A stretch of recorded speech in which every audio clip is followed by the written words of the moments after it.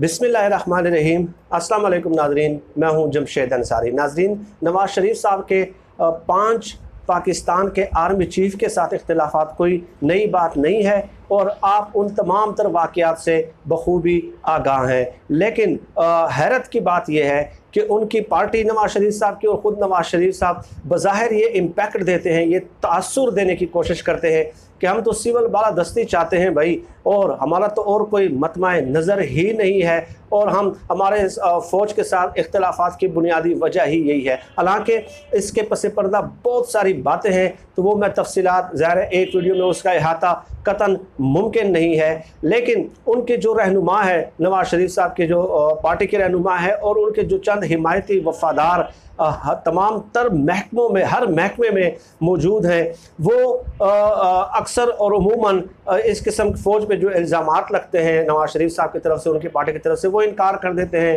اور بات کو گھما پھرا لیتے ہیں کہ نہیں جی ایسی کوئی بات نہیں ہے۔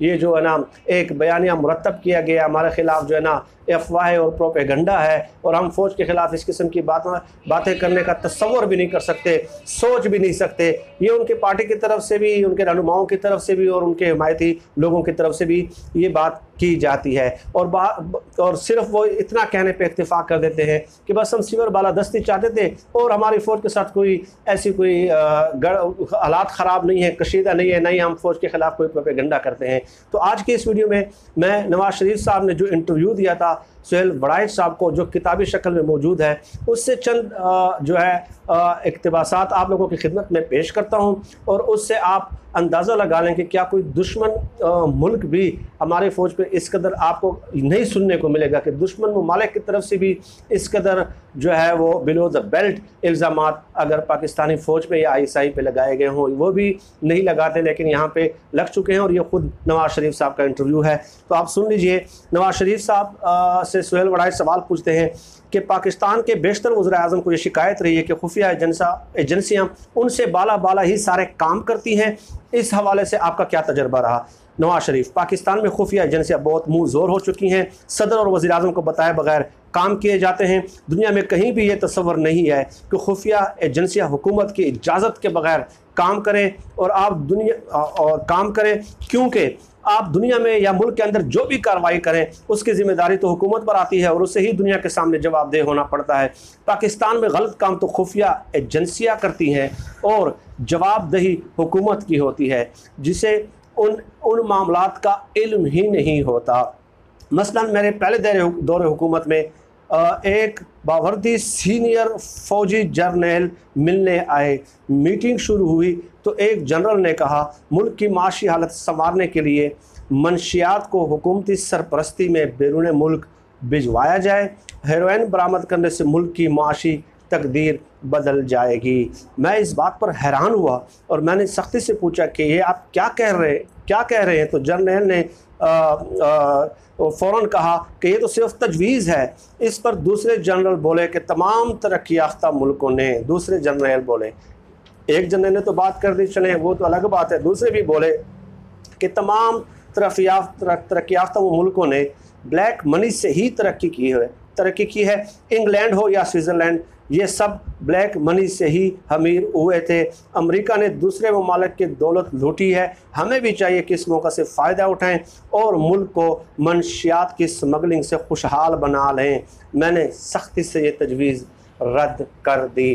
اب یہ صرف ایک جرنیل کی بات نہیں، اولاً تو اگر ایک جرنیل کی بھی بات ہے تو ظاہر ہے، ایک جرنل کے اندر ایک پوری فورس ہوتی ہے۔ تو ظاہر ہے وہ ان کے بھی ذمہ دار ہے ان کے کمانڈ میں ہوتی ہے اور وہ ان کے سربراہ ہوتے ہیں۔ تو ان جرنل کے جو کسی عمل کی ذمہ داری ہے، وہ فوج پہ بھی ڈیفینیٹلی آ جاتی ہے۔ لیکن یہاں پہ تو انہوں نے پورے جن، دوسرے جرنیلوں کی بھی بات کر دی اور ساتھ یہ بھی کہا کہ وہ یہ کرنا چاہتے تھے یعنی کہ وہ ان کا پورا انٹینشن تھا، پورا ارادہ تھا، لیکن میں نے سختی سے منع کر دیا۔ اور یہ کتاب کی شکل میں موجود ہے، جو دنیا میں کہیں بھی، کسی بھی کونے میں موجود ہو۔ یہ ایک ڈاکومنٹڈ انہوں نے پروف پرووائڈ کیا ہے پورے انٹرنیشنل کمیونٹی کو اور دشمن ممالک کو، ان کی خفیہ ایجنسیوں کو۔ یعنی ایک ظاہر ہے وہ، انہوں نے کیا کرنا ہے ان باتوں کا، لیکن وہ کیا ایکشن لیں گے آفیشلی بٹ ایک بدنامی کا موجب اور سبب تو بنتا ہے اس قسم کے جو الزامات ہیں۔ میں لفظ الزامات استعمال کر رہا ہوں، ٹھیک ہے؟ تو اس سے آپ اندازہ لگا لیں کہ ان کا جو بغض ہے فوج کے ساتھ وہ کس حد تک ہے کہ ایک پرائم منسٹر جو جو تین بار کا وزیر اعظم ہو، وہ اس قسم کی باتیں جو نا انٹرویوز میں بیان کرنے لگ جائے اور جو کہ یقیناً بے سر و پا ہیں، جن کی کوئی حقیقت نہیں ہے۔ اور آگے چلیں، وہ کیا کہتے ہیں کہ سہیل وڑائی صاحب بھی سوال ایسے پوچھتے ہیں جان بوجھ کے کہ ظاہر ہے نواز شریف صاحب مشکل میں تھے تو ان کو جو ہے نا، ایک پورا ایک گراؤنڈ فراہم کرنا تھا اور ان کو بے گناہ ثابت کرنا تھا۔ تو اس لیے یہ انٹرویو بھی کنڈکٹ ہوا۔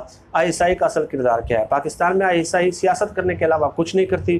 اس نے اپنا اصلی کام بلا کر سیاسی جماعتوں کو توڑنے اور بنانے کا کام اپنا لیا ہے۔ سیاستدانوں کی وفاداریاں بدلنے میں بھی آئی ایس آئی ہی آئی آئی آئی ایس آئی ہی اہم کردار ادا کرتی ہے۔ الیکشن میں دھاندلی یا اراکین اسمبلی کو بلیک میل کرنا، یہ سارے کام آئی ایس آئی ہی کر رہی ہے۔ جب تک آئی ایس آئی کا رول ختم نہیں ہوگا، ملک کا سیاسی نظام مستحکم نہیں ہو سکتا۔ آئی ایس آئی کا اصل کام سیاست نہیں، ملک کی دفاع میں مدد کرنا ہے۔ آگے وہ سوال پوچھتے ہیں کہ آئی ایس آئی کا سیاسی کردار کیسے ختم ہو سکتا ہے؟ آئی ایس آئی کے چارٹر میں تبدیلی کی ضرورت ہے۔ میرے خیال میں آئی آئی آئی ایس آئی میں کوئی بھی باوردی فوجی افسر نہیں ہونا چاہیے۔ آئی ایس آئی کو مکمل طور پر سول حکومت کے ماتحت ہونا چاہیے۔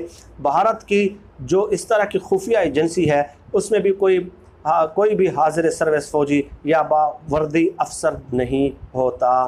یعنی کہ بھارتی خفیہ ایجنسی کے طرز پہ ہی وہ کام کریں۔ اور نواز شریف صاحب کی کوشش بھی یہی تھی کہ وہ اسی نہج پہ لانا چاہ رہے تھے۔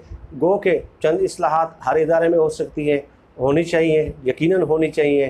لیکن یہاں پہ ایک دشمن ملک ایجنسی کا جو ہے نا کمپیریٹیولی ایک حوالہ دینا تو وہ کیا ظاہر کرتا ہے؟ اب ظاہر ہے آپ دیکھیں کہ کس قدر متعون کرتے ہیں پاکستان کی ٹاپ خفیہ ایجنسی کو۔ اگر وہ کچھ نہیں کر رہی تو آپ بتائیے کہ یہ جو تمام دشمن ملکوں کی جو سازشیں ہیں، وہ کیا نواز شریف صاحب جو ہے، یا شباز شریف صاحب ناکام بنا رہے ہیں۔ یہ جو دہشت گرد گرفتار ہوتے ہیں، راہ کے کب کل آزاد کشمیر میں گرفتار ہوئے ہیں، بلوچستان میں ہوتے ہیں، سندھ میں ہوتے ہیں، اور ان کے جو تنظیموں کے جو خفیہ روابط ہوتے ہیں، فون کالز ٹریس ہوتی ہیں، ان کے ان کے رابطے ٹریس ہوتے ہیں، اور ان کی گفتگو ریکارڈ ہوتی ہے، اور اس کے بعد وہ الرٹ جاری کرتے ہیں، اور مختلف مقامات پہ چھاپے مار کے ان کی کارروائیوں کو ناکام بناتے ہیں۔ کچھ کارروائیاں تو آپ کے سامنے آ جاتی ہیں کہ ان کو گرفتار کر لیا گیا، لیکن ایسے خفیہ ریڈز کئی ہوتے ہیں، درجن ہوتے ہیں جو ملکی مفاد کے پیش نظر وہ مناسب نہیں سمجھتے کہ آپ لوگوں کے سامنے پیش کر دیں۔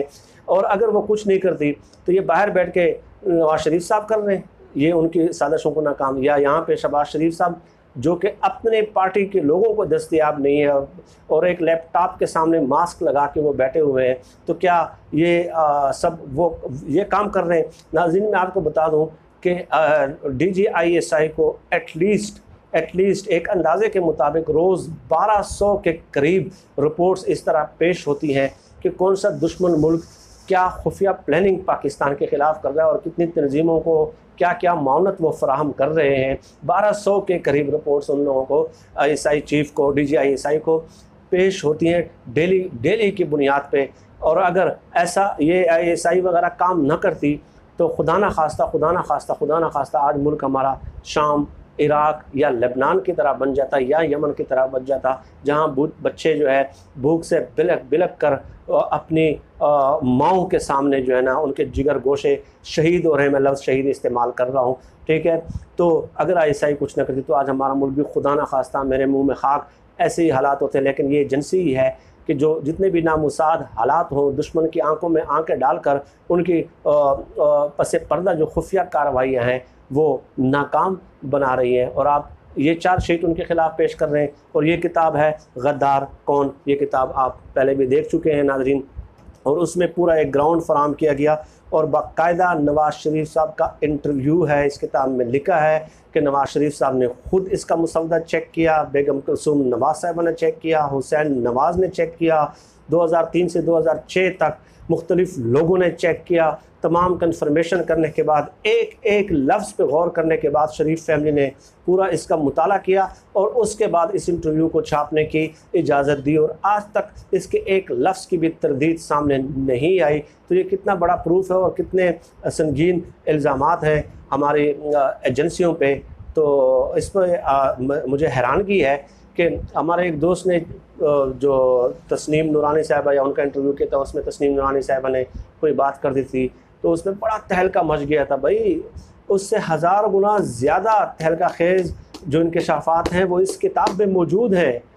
تسلیم نورانی تسلیم کرے یا نہ کرے اس میں اتنے جو خود انٹرویو ہیں ان کا اپنی زبانی، خود ڈاکومنٹڈ پروف موجود ہیں۔ تو اس میں بات ہونی چاہیے۔